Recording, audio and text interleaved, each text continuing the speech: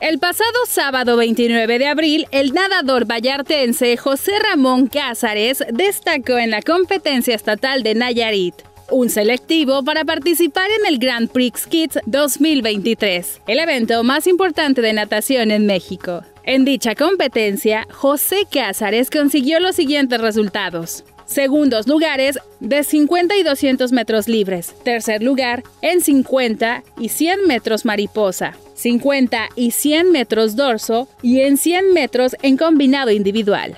Con las medallas obtenidas, se hizo acreedor del tercer lugar general por puntaje en la categoría de 11 y 12 años. José Ramón lleva practicando natación desde que era un bebé. Además, actualmente también practica el taekwondo. Cuenta con un gran talento para las pruebas de velocidad del estilo mariposa y crawl. Tiene 11 años, forma parte del equipo Marlins Natación, donde entrena todos los días y aspira a participar en eventos nacionales e internacionales en los próximos años.